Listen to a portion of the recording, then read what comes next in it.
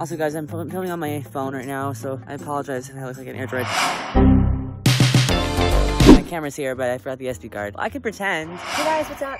Welcome back to the channel. Jeffrey, Ryan Star. Also, guys, I got new glasses. Realized I needed glasses when I was in Old Navy and had a full-on conversation with the cloud-wearing mannequin. Do you choose the Amish life, or like does the Amish life choose you? How does it work? Problem is, I thought she responded. I donated to her cat's GoFundMe. He had PCOS.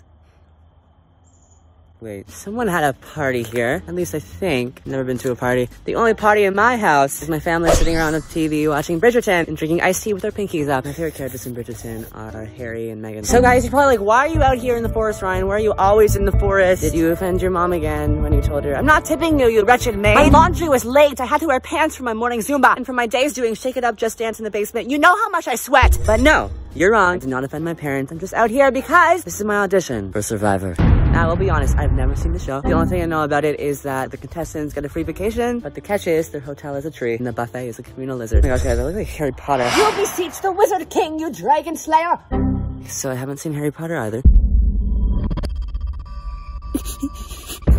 it's been three minutes. I'm starving. By one o'clock, I'm usually eating my butter with a little bit of toast.